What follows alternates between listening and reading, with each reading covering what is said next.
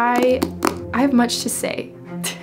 Hey guys! For those of you who don't know me, I'm Caprice. I love to read, I love fantasy, I love Harry Potter, but I've never read it until now. If any of you want to guess what my Potter house is, People have asked me before why haven't you read Harry Potter if you love to read so much. I have never heard a negative thing about Harry Potter. It has just been beloved by many, so I just wanted to always keep it on the shelf for the day when times got bad or I just needed a guaranteed good read. I was just keeping that as my safety net. What happened is now I'm 24 years old and I've never read it and I just feel like I've missed out.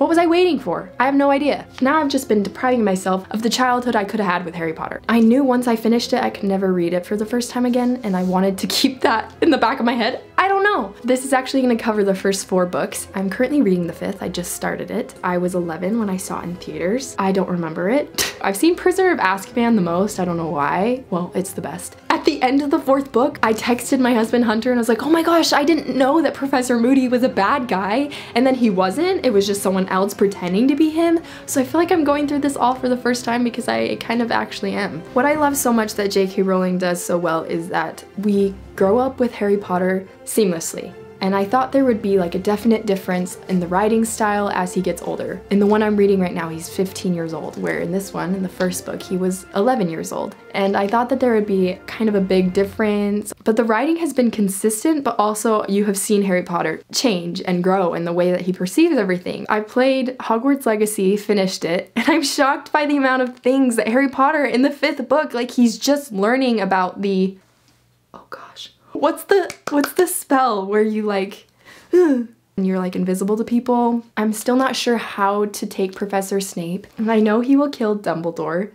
And for the, for that alone, I will never forgive him. So I don't know what his redemption arc exactly is. And I also know he's in love with Lily. I don't know what he's doing playing both sides. He was a Death Eater. Reading the first book, just like hated the Dursleys so much more because they are so freaking annoying they're terrible people and it really doesn't make sense. I don't know why they hate wizards so much. I wish everything awful to happen to him. When he gets called to Hogwarts, I was actually surprised how chill Harry Potter was just like going through everything, going through nine and three quarters, doing all this jazz that he's never done before.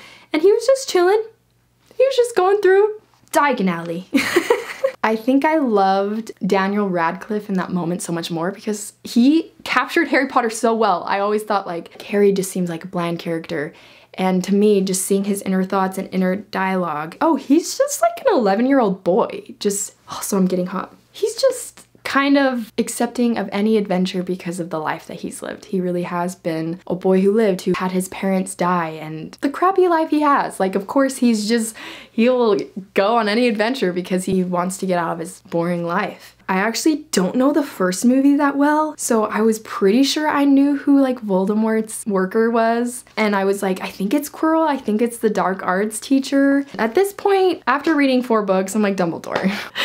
Like this this keeps happening. I think Dumbledore is like, oh, you're only gonna last a year, perfect. When that all happened, it was pretty intense. Harry did a great job. He was just like, okay, we got this. Uh, the Sorcerer's Stone, that was a whole mystery vibe. It's kind of exactly what I thought it would be. The world building was incredible. J.K. Rowling, I think, is so confident in this world that you could ask her any question that isn't even in the books and she would know. To all of us, she has created something real and she has created a world beyond any other book I've ever read. And it's so entertaining, it's wonderful, it's magical, and I love the cozy feel that I get when reading this book. Then we have the second book, Harry Potter and the Chamber of Secrets. So for me, I think one and two were kind of just like both like kind of introductory. Also, I was shocked at how much Hermione's not in the first book. I kept thinking that she'd come back and then she just was not that prevalent. They weren't really friends. Honestly, they didn't really even like Hermione. But in the second book, that's when we kind of get to know her more. That's when I really didn't like Professor Snape. He's really frustrating. He's really annoying. I honestly, I cried when they cleared Hagrid's name. That was just a moment of, uh, just Hagrid backing up Hermione when Draco called her mudblood. Harry has found family, a home in Hogwarts and with wizards. What makes me love this book so much, it does feel like coming home. These people in this book, they're consistent and they're loving and they're they're not afraid. And Harry Potter just being maybe the underwhelming character that he is, he's a hero and he's a good person. And I think I fell more in love with him in the fourth book especially. The first and second I was like, oh, these are so great. I totally get the hype. The third, I was hooked. I was hooked. Also, I just hate Draco. He's the worst. He bothers me so much. And I just love how junior high it is. Also, can we talk about Ginny? Ginny is so cute in these books. I don't like her in the movies for valid reasons. I actually love, you know, she has such a little crush on Harry Potter and it's so cute and he's completely oblivious. Also, the fact that Ginny was the person who like snuck the journal out and gave it to Harry, that was crazy. Did not see that coming at all, actually. This is kind of like also we're getting started. And the third book, loved the third book. It was so freaking good. I was excited to read it. The other two were just like comforting reads. The third one was oh, I want to read this book, especially when Sirius comes. And at first I was like, wait, I thought Sirius was a good guy, but he's seemingly trying to kill Harry Potter. No, it was the rat. I was like, wait, what's happening with the rat?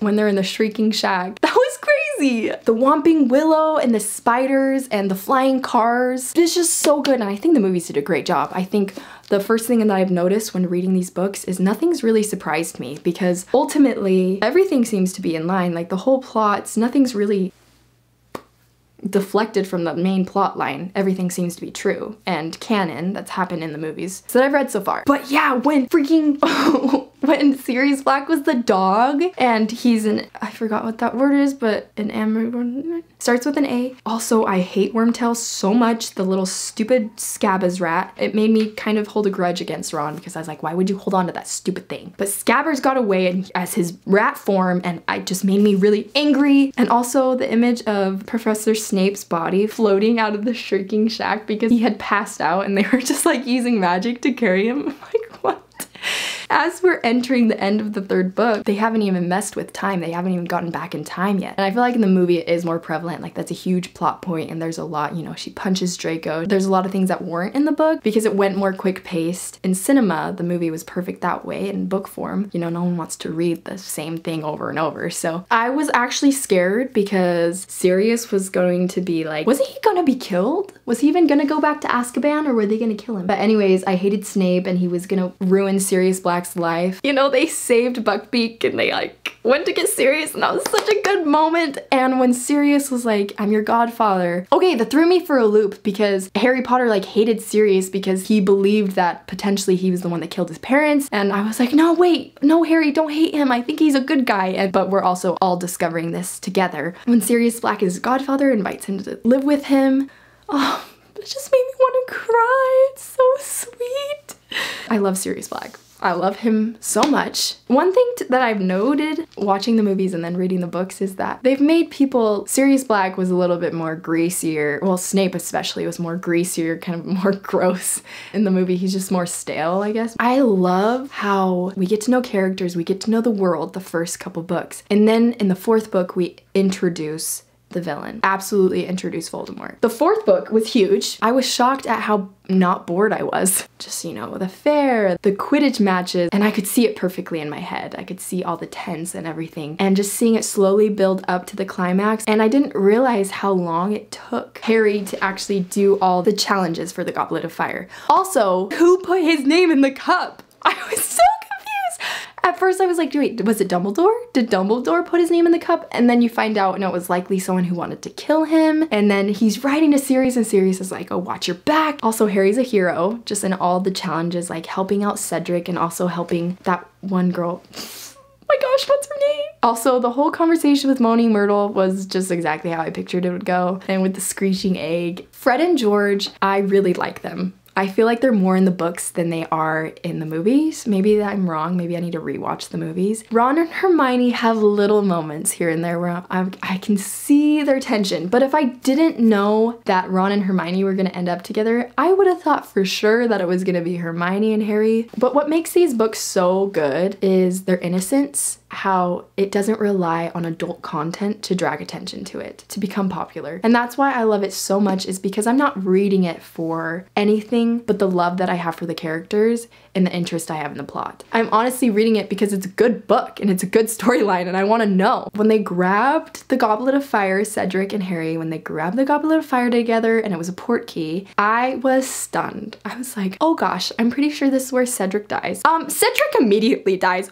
Holy Hannahs, I wasn't prepared for that. I felt so sad because it has been pretty lighthearted this whole time and now the fourth we're starting to get more dark. This is where everything starts to happen. Um, Voldemort's scary as frick because he has red eyes and he's snake-like. Ew.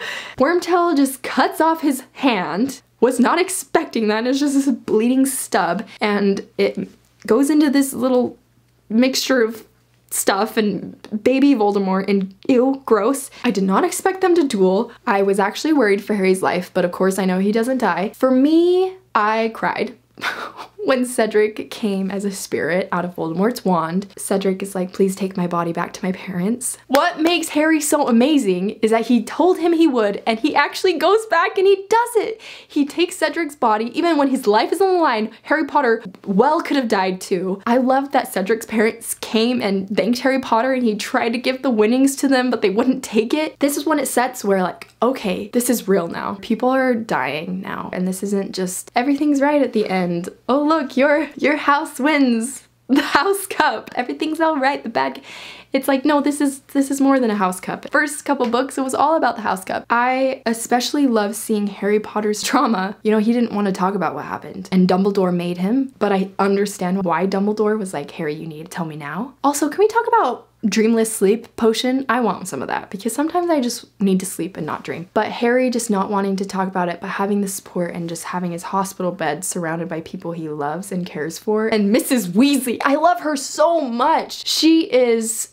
probably one of my favorite characters just because she is the mother figure for Harry Potter. Just lovely to see a character that is just real how Ron's parents aren't rich and I also like how that's talked about pretty frequently because a lot of us could relate. I mean, I wasn't raised in a very wealthy home and I think it could be hard when you're comparing yourself to other people and possessions, but you see that Ron is rich among other things. He has an amazing family and amazing friends. Also, Ron and Hermione fighting over the cat and rat in the third book was hilarious. Seeing Harry Potter truly become scarred is grieving the loss of seeing Cedric continuously grieving his parents because he didn't even know them. He just has a hard time because he's the boy who lived. And I like seeing that he is the chosen one and what that looks like for him because he's not always popular. Also, the Slytherins suck.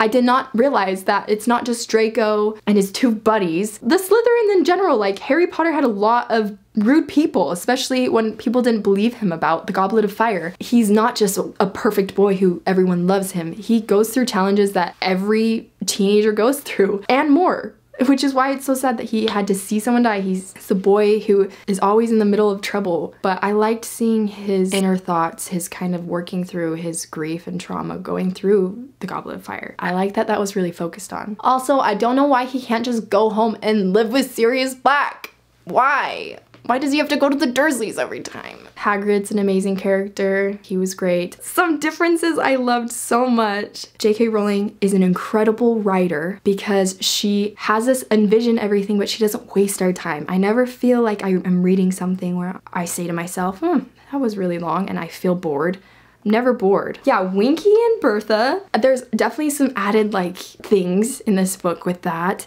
Also the little things like Harry giving Fred and George his goblet winnings. That was so cute and he like wants them to start their dreams. But one of my favorite parts so far that I'm like, oh, this is definitely a different is like Hermione, I feel is less okay, she is a know-it-all and it's very apparent. Sometimes Hermione really annoys me. I also love that she wanted revenge from Rita Skeeter. But she just holds up a can on the train. She's like, here she is. She won't do it again. There's no way. Oh yeah, Harry starts to like Cho Chang. Now that Cedric's gone, poor girl. Ultimately, my predictions. Obviously, I know bits and pieces. The whole Professor Moody thing threw me for a loop because I'm like, oh my gosh. like it, Professor Moody, he's a bad guy and I liked him so much. No, that was actually someone else. And still, he fooled me because I thought he was a good guy when he gave him like the Marauders map. A little bit painful for me to go through like the five stages of grief with that one. Ultimately, Harry Potter goes home and I'm thinking, oh, Why is he just like going home to the Dursleys? He just had a duel with Voldemort, the one who shall not be named. And here he is just going home. Like, doesn't Voldemort know exactly where he is? Like, wouldn't he know the Portkey took him exactly where he was? I just have questions. Like, does Voldemort have. I know he's kind of like a baby. He hasn't been able to use his full powers and he's still growing, getting stronger powers. I'm just worried for Harry Potter's life. I'm interested to how Snape has anything to do with this and the Malfoys. I don't trust the Malfoys at all. What is the repercussions for the people who showed up to Voldemort as Death Eaters? Like, like are they gonna be punished or anything? I'm a little bit nervous for Hogwarts. Maybe we should be taking this kind of seriously and everyone not believing that Voldemort's back. A little scary. Ultimately, I just love it.